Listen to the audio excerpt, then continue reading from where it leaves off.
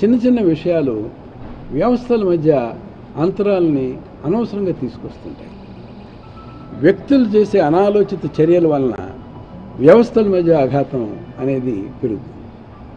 ఉదాహరణకి పంచాయతీ ఎన్నికల ముందు కొంతమంది వ్యక్తులు వాళ్ళ ప్రోద్బలంతో ఎలక్షన్ కమిషన్లో సిబ్బంది అందరినీ సెలవులో మూకుమ్మడి సెలవుకు వెళ్ళాలి అని చెప్పి ప్రతిపాదించారు. దీంట్లో అసలు ప్రభుత్వానికి ఏం పాత్ర ఉంది? ప్రభుత్వానికి ఏం తెలుసు? ఎవరికి ఏం తెలుసు? ఇది స్థానికంగా వ్యక్తుల అవగాహన లోప లోపంతో బాధ్యతారహితమైన దుష్ప్రవర్తన వలన జరిగిన విషయం. దీన్ని చక్కదిద్దాం. అప్పటికప్పుడు విషయం సమసిపోయింది. ఇలాంటి విషయాలు సరైన టైంలో సరైన అవగాహనతో స్పందించకపోతే ఆఘాతాలకి విఘాతాలకు కూడా దారితీస్తుంటాయి. ఇప్పుడు అలాగే నేనేదో స్థానికంగా తెలంగాణలో నాకున్న ఓటు హక్కుని నేను తెలంగాణలో రద్దు చేసుకుని ఆంధ్రాలో ఓట్ ఓటర్ కావాలి నా సొంత గ్రామానికి కావాలి అని చెప్పేసి నేను కోరుకున్నాను అది ఆ స్థానికంగా ఉండే ఎలక్ట్రల్ రిజిస్ట్రేషన్ అధికారి కానీ జిల్లా అధికారి కానీ వాళ్ళ పరిధిలో ఉండే విషయం ఇది ప్రభుత్వానికి సంబంధించిన విషయం కానే కాదు. కానీ అది నిరాకరించడం వలన ఇప్పుడు ప్రస్తుతం ఆఫ్ కోర్స్ నా అప్పీల్ పెండింగ్లో ఉందనుకోండి కలెక్టర్ గారి దగ్గర. దీనివలన దీన్ని టీ కప్పులో తుఫాన్లాగా సృష్టించి ఇది ఎందుకు ఇవ్వలేకపోతున్నారు? దీనికి వేరే కారణాలు ఉన్నాయి అని చెప్పేసి అనుకోవటం. ఇవన్నీ కూడా అపోహలకు దారితీస్తుంటాయి వ్యవస్థల మధ్య అంతరాన్ని పెంచుతూ ఉంటాయి ఇట్లాంటివి ఎప్పుడు నేను కోరుకోవట్లేదు. కోరుకోను కూడా.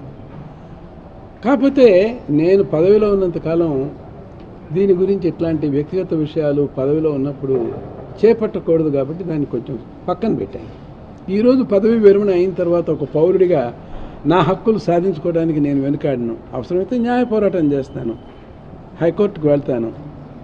దేశంలో ఒక వ్యక్తికి ఎక్కడైనా ఒక్క చోట ఓటేసే హక్కు ఉంటుంది. ఏ వ్యక్తికైనా అసలు ఓటు హక్కు కల్పించను అని చెప్పేసి ఎవరైనా ఏ కలెక్టర్ కానీ ఏ వ్యవస్థ కానీ అనగలుగుతుందా?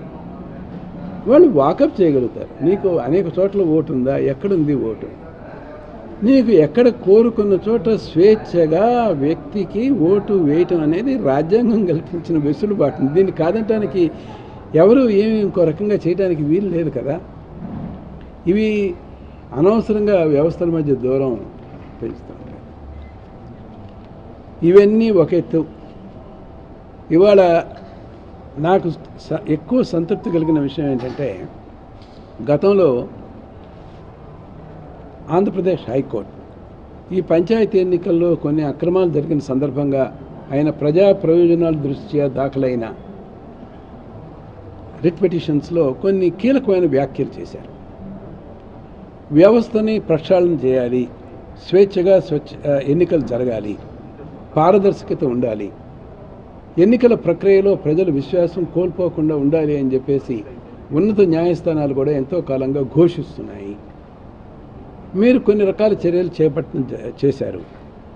కానీ ఇప్పుడున్న చట్ట పరిధిలో మీకు పరిమిత అధికారాలే ఉంటాయి కాబట్టి మీ అధికారాలకు లోబడే మీరు నిర్ణయాలు తీసుకోగలగాలి. కానీ మీరు చేస్తున్న పనులు హర్షణీయమన్నారు కోర్టు. చివరికి ఏమన్నారు వారు? దీని గురించి మీరు మీకున్న అనుభవంతో మీకున్న అనుభవాలతో మీకు వచ్చిన వివరాలతో ఒక ఎలక్షన్ లాలో తీసుకురావాల్సిన మార్పులు చేర్పులు వీటి గురించి ఒక సమగ్రమైన నివేదిక కనుక ఇచ్చినట్లయితే అది చాలా ఉపయుక్తంగా ఉంటుంది అని చెప్పారు. నేను కూడా చేసింది అదే.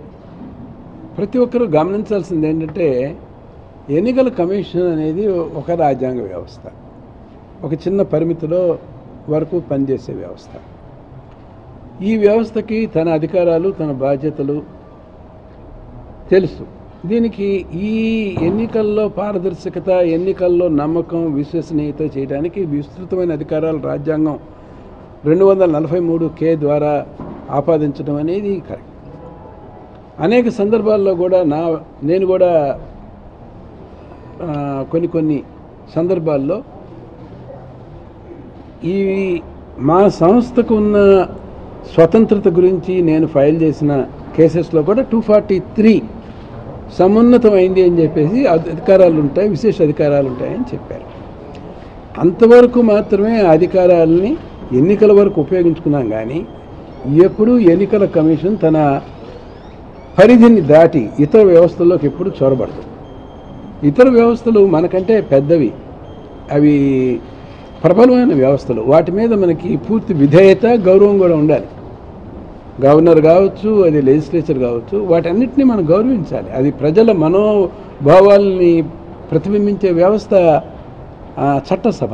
చట్టసభని ఎవరు కాదని ఎట్లా అంటారు? చట్టసభని ప్రతి ఒక్కళ్ళు గౌరవించాల్సిందే చట్టసభ. చట్టసభ ద్వారా ప్రకటితమైన న్యాయాల న్యాయం పట్ల మనకు పూర్తి నమ్మకం విశ్వాసం ఉండాలి. అవి ఆచరణీయం. అలాగే కోర్టులు అలాగే గవర్నర్ లాంటి వ్యవస్థ. అంచేత నేను ఏడు సంవత్సరాల పాటు రాజ్భవన్లో గవర్నర్ సెక్రటరీగా ఉన్నప్పుడు నాకు వ్యవస్థల మీద విస్తృతమైన అవగాహన ఉంది. మా వి- వ్యవస్థల స్నేహపూర్వక వాతావరణాన్ని ప్రోత్సహించేలాగా అప్పుడు మాన్య గవర్నర్ ఈఎస్ఎల్ నరసింహన్ గారు కూడా వ్యవహరించారు. ఆయన దేశంలోనే సీనియర్ మోస్ట్ గవర్నర్ డోయన్ గవర్నర్గా ఏడు సంవత్సరాల పాటు డోయన్ గవర్నర్గా ఉన్నారు.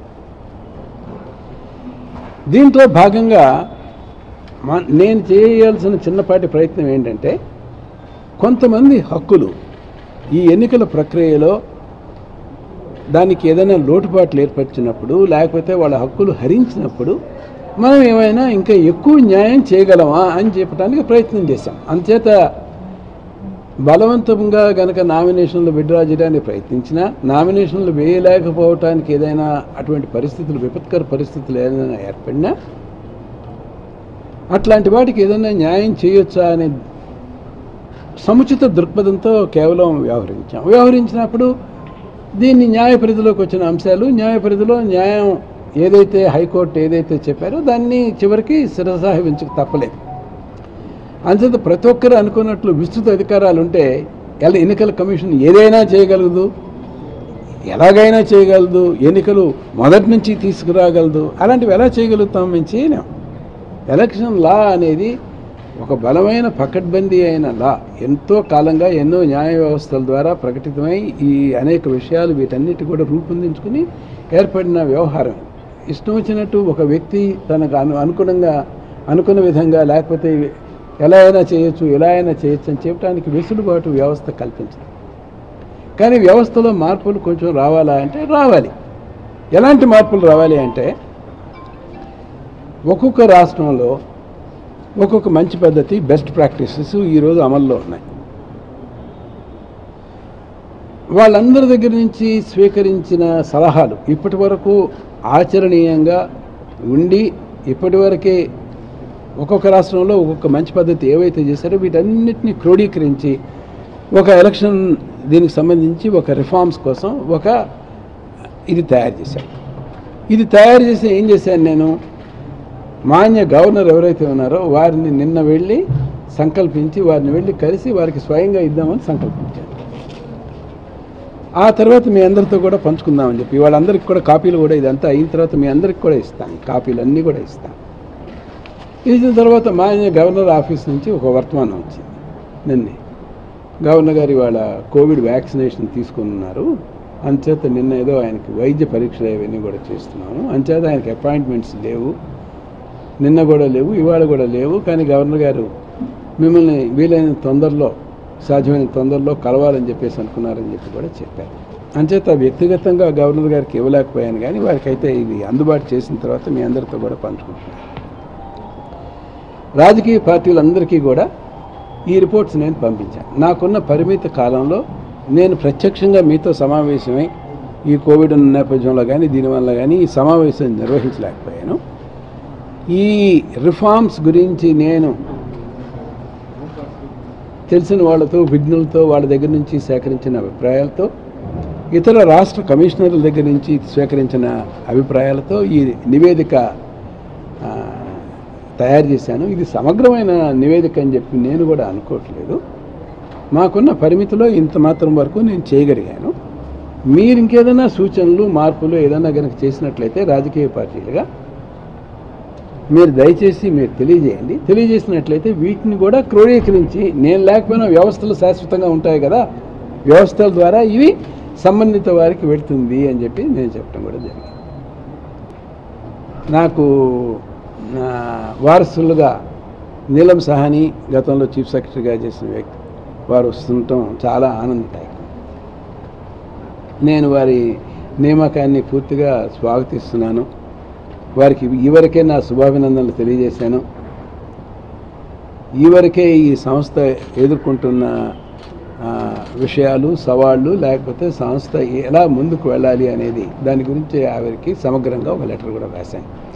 కాకపోతే నేను ఏమి లెటర్స్ రాసినా నేను దాన్ని బహికృతం చేసే సంస్కృతి నాకు లేదు. నేను ఏం చేసినా అది గోప్యనీయంగానే ఉంచడం అనేది మొట్టమొదటి నుంచి నా ఆలోచన దృక్పథం. అందుకని నేను ఎప్పుడూ కూడా నా పరిధికి మించి మాట్లాడను.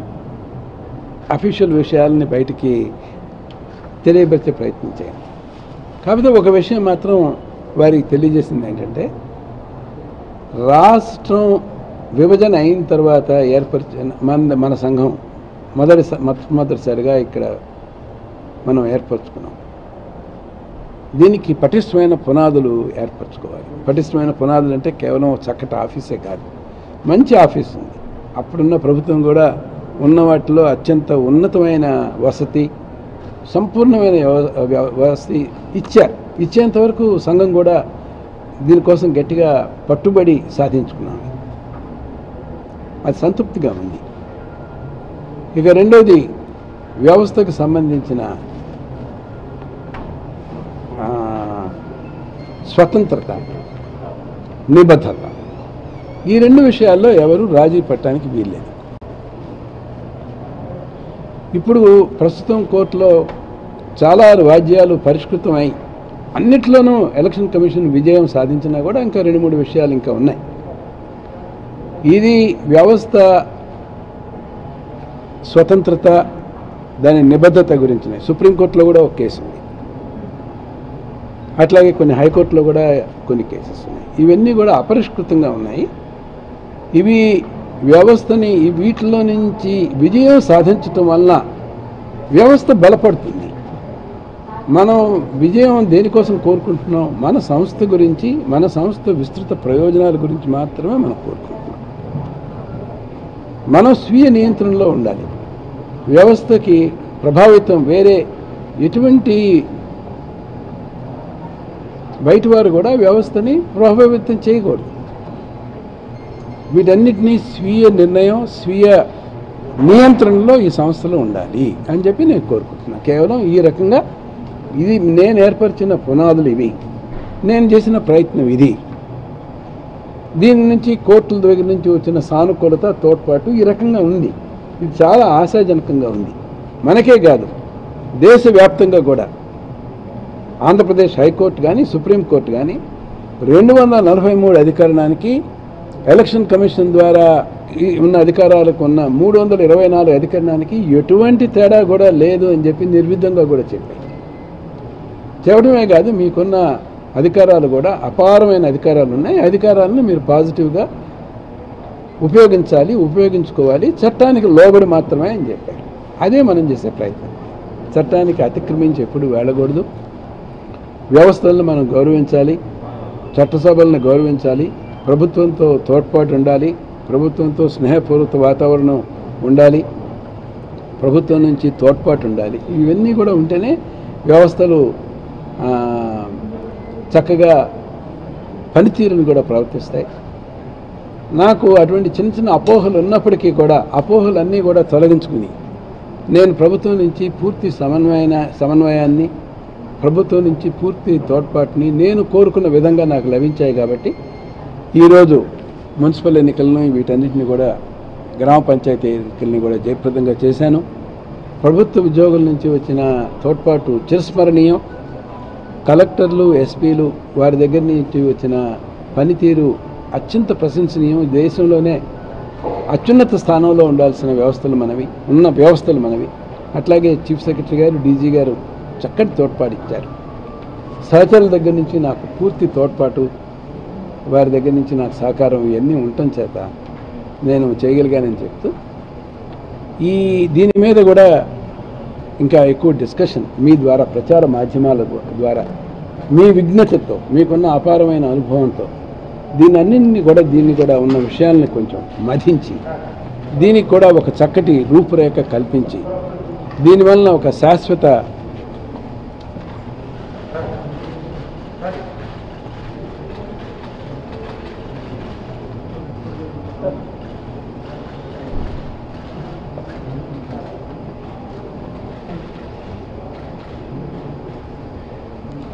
దీనివల్ల ఒక శాశ్వతమైన ప్రయోజనాలు కలుగుతాయని చెప్పేసి నేను ఆశాభావం వ్యక్తం చేస్తూ మీ